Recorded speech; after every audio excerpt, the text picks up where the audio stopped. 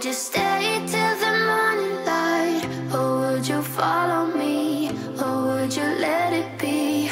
If I leave tonight, we could do this right. We'll find Hi guys, this is Diya and welcome back to Mom and Me, a place where you get your weekly dose of mommy motivation. So if you are in need of some motivation today, stay tuned. know that I didn't throw your stuff away. Before you make up your mind that I'm nowhere to find, I'm standing right here. We all are in middle of a pandemic and prefer to stay home most of the times. But there are times when we must step out like buying essential services like fruits, vegetables and other groceries. And we also prefer purchasing in bulk to eliminate the need of frequent trips outside. However, bulk buying also results in food wastage. So today I will show you ways to store your fresh veggies so that they last at least for 3 to 4 weeks and that you do not have to make frequent trips to the farmers market. Before we look into the ways to store fresh produce, let's understand why it's important. So let's look into some stats first. Oh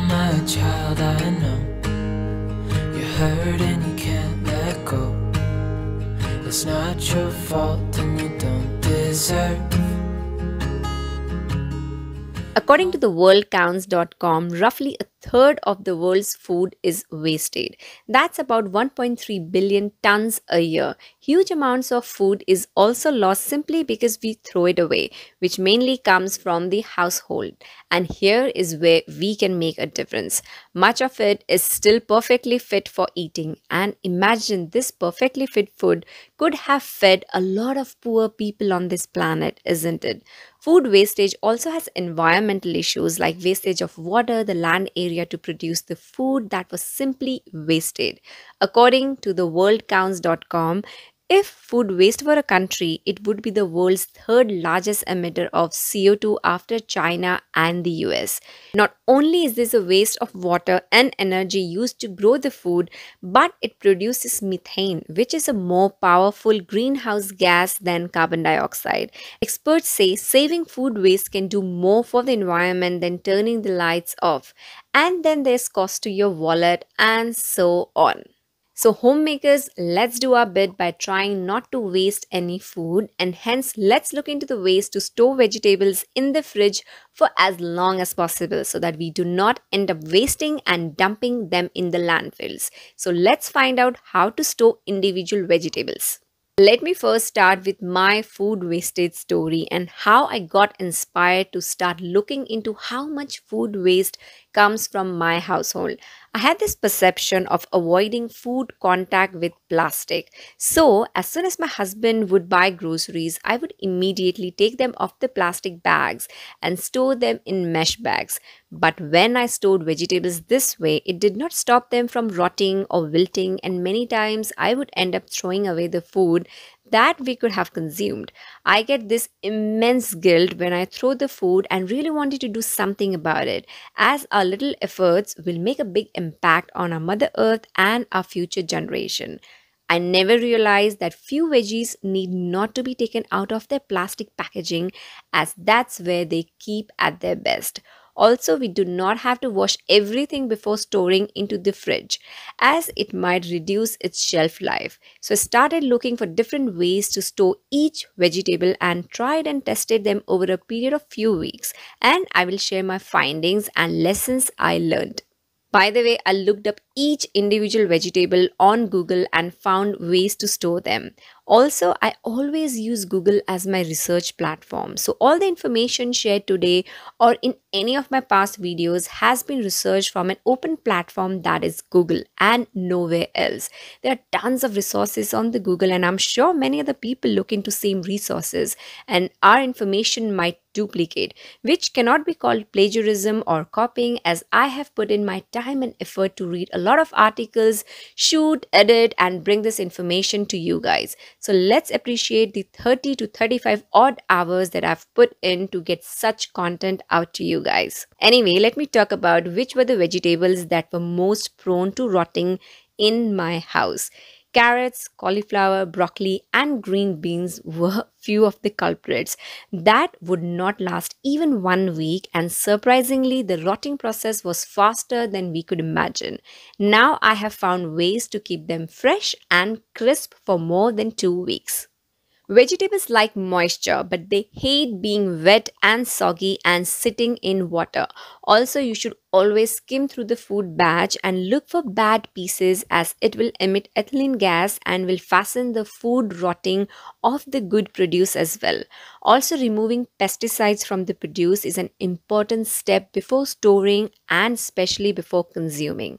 One sure way to remove pesticides from fruits and vegetables is to use baking soda, vinegar, or lemon juice and soak the produce in either of these for at least 5 to 10 minutes to surface level pesticides from the produce.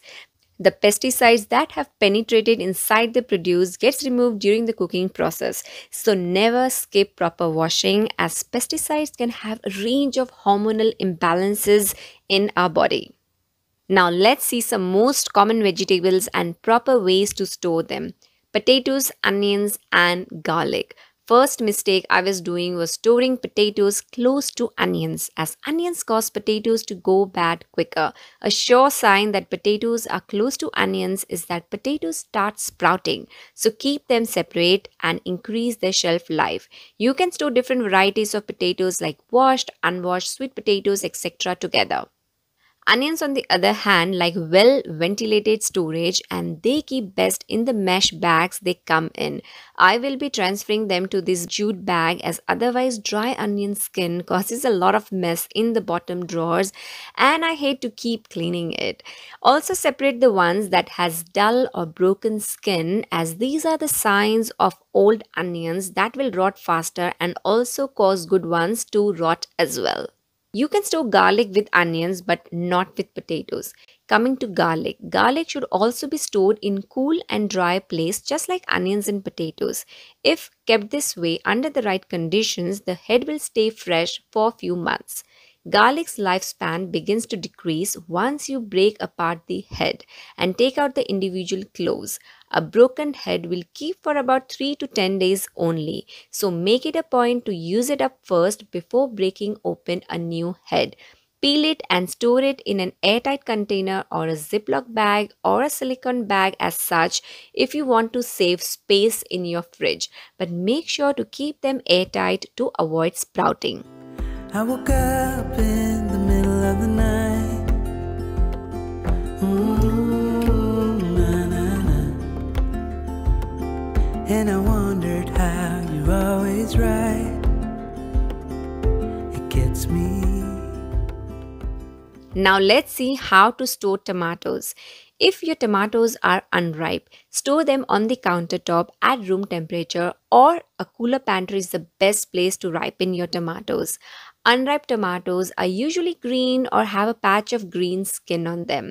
They will also be hard when lightly squeezed.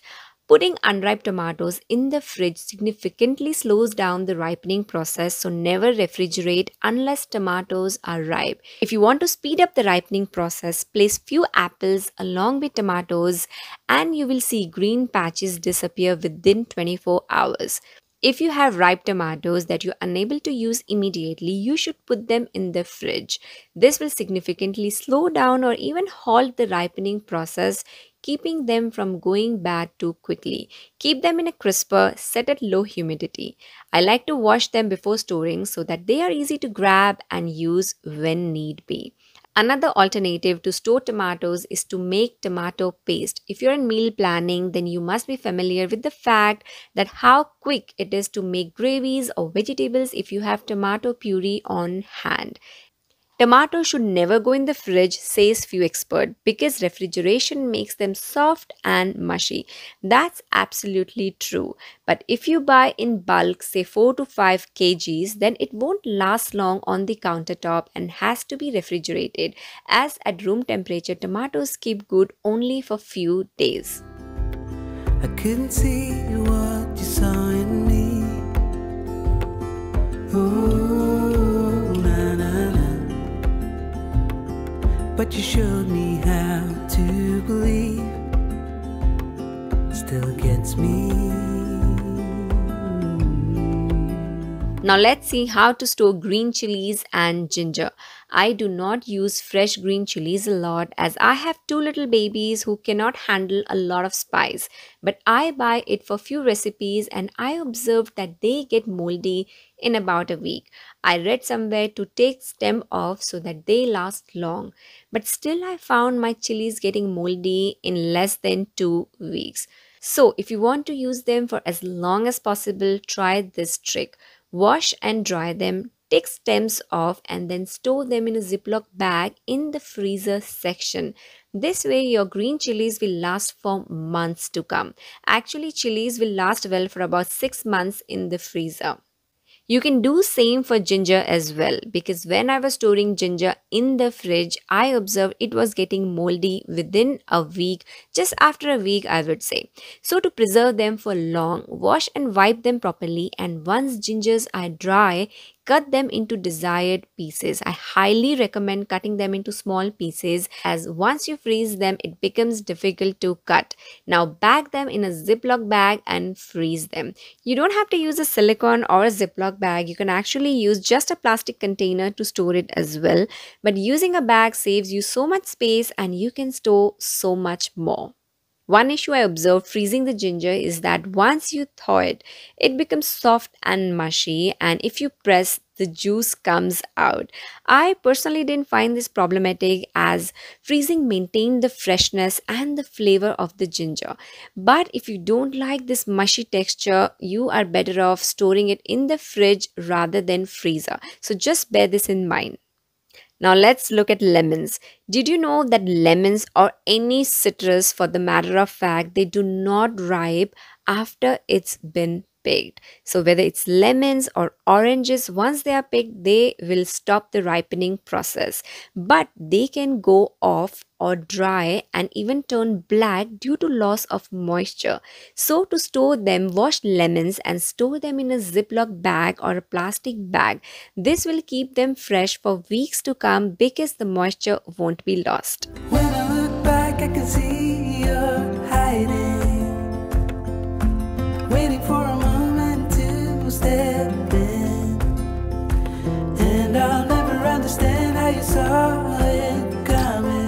green peas. I get green peas from supermarkets frozen section and they last for months and months. I would recommend taking green peas out of the pods and sealing them in a Ziploc bag and freezing them. This way you can use them even in off season when peas are not available. Now let's look how to store capsicum. Capsicums are thick skinned and like all thick skinned vegetables, they need to be stored in the crisper drawer. If left on the shelf, they will wilt and the skin will become wrinkly. So store all thick skinned vegetables like tomatoes, capsicum, avocado, eggplant, beetroot in crisper. They need to go to crisper drawer for them to last long. They like low moisture. So if you can adjust crisper drawer settings, set it at low moisture level. Your crisper drawers are actually one of the best ways to help preserve vegetables and reduce food wastage. I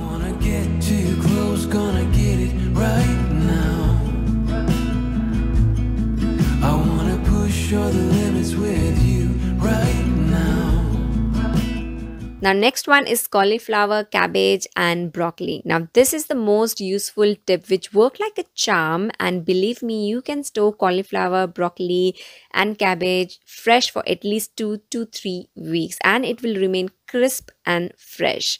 So, take cauliflower, no need to wash it. Well, you can, but you will have to wash it thoroughly in hot water before cooking, anyways. So, better leave it. Do not glad wrap it as the plastic wrap will trap the moisture, leading to sogginess and eventually turn the florets brown. Ideally, you want to buy a full head of cauliflower rather than a plastic bag of pre cut florets. Once you get the cauliflower home, all you have to do is to put the head of cauliflower in an open plastic bag with a paper towel on top of the head and pop it in the fridge stem side up so that the head does not collect moisture, rather, it slides down. Whole heads of cauliflower can be kept in loosely sealed plastic bag in the refrigerator for at least 2 to 3 weeks and believe me it does works. You can store cabbage and broccoli in a similar way too. There is no need to put them in the crisper as these are big vegetables and may take a lot of space or might not even fit in the crisper. So keep them on the shelf. They will be protected from cold and dry atmosphere of the fridge as they are bagged in the plastic bag and will definitely stay fresh. So give it a try.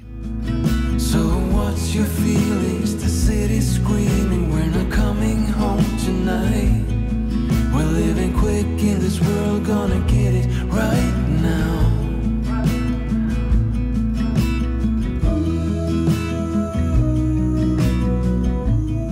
Next vegetable is carrots. Carrots like humidity, so store them in either of these two ways. First, place washed carrots in a jar or pitcher filled with water. This will maintain the moisture levels and keep carrots fresh for weeks, even month. Make sure to change the water every few days or else the water will turn cloudy. This way carrots will stay fresh for at least a month, maybe more. The second method would be place washed carrots in a loose plastic bag. No need to add a paper towel as you want to maintain high moisture level which carrots love. So if they come in a plastic packaging, keep them in the package and do not take them out and store in a mesh bag that I used to do before. I did this mistake and my carrots would turn dry, limp and black in few days due to loss of moisture. What you wanna hear now. But they all they will let you down. So we better stick together. Let's come whatever, we're not coming home tonight. Now, coming to the veggie category, which is famous for getting bad or off very quickly green leafy vegetables. All leafy vegetables love high humidity and low temperature. So let's first look at coriander. Coriander is the most used Indian herb. I cannot do without coriander in my kitchen, but even after sorting it in a paper towel, it would rot in matter of few days. And I hate to see yellow and brown coriander as I love this herb. I have now found a perfect way to store coriander. So here are the steps you will have to follow. Wash the coriander thoroughly once you buy it from the store. Now leave it to dry for few hours. Use an old bedsheet or a paper towel underneath to absorb excess moisture. Once it's dry, place it in an airtight container wrapped in a paper towel. Now make sure to take off the air by closing the airtight lid. Last but not the least, store in the coldest part of the fridge, which is the bottommost shelf, far end of the shelf. If you have a chiller compartment in your fridge, it's best place to store all your greens. This is my coriander after 3 weeks of storing and you can see it's still 90% good. Take off any bits and pieces that you feel will go off soon and voila your coriander finally can stay fresh for 3 to 4 weeks which in my case used to never happen before. Like coriander, even spinach needs to be washed and we need to remove the rotten leaves. Once washed, dry them on a kitchen towel and once it's completely dry, off it goes in the fridge in the coldest part. This will stay good for one week without any rot. If you want to keep spinach any longer, I recommend blanching it and then refrigerate. That way it will last easily for 2 to 3 weeks. One piece of advice here is to blanch and puree the spinach before storing. As I have observed, once you refrigerate the blanched leaves, full leaves, for some reason it is so difficult to puree it later. So blanch and puree before storing. Coming to methi or fenugreek leaves. If you want to store them for around one week, store unwashed leaves wrapped in a paper towel. But if you want to store for weeks or months, store them in the freezer. Here is how I did. I recommend washing the leaves before storing in the freezer. Once washed, dry it on a kitchen towel and once dry, store it in a Ziploc bag with a paper towel in it. When you want to use it, take it out of the freezer and chop it and simply use. Do not store unwashed as once you take it out, it has high moisture levels already and you do not want to add any more moisture by washing it after thawing. Also, do not chop and store as it may lead to loss of nutrition. So, Follow these tips and make your greens last longer. So, guys, this is all I have to share about how to store your fresh vegetables. If you want me to cover other vegetables, please mention them in the comment section below. You know how happy I am to say this after years? Please mention in the comment section below. I never got to say this for years. And if you haven't checked my community post why my comment section were off you might want to check it because i'm still getting a lot of comments on my community post asking why comment section were off. Oh my god so many comments comments comments. Anyways also if you'd like to see how to store fruits then don't forget to like this video and leave a comment which fruits would you like me to cover. I hope you enjoyed watching this video. I will see you guys next wednesday with another video. Bye for now. Love you guys. We're living quick in this world, gonna get it right now. We only need the two of us together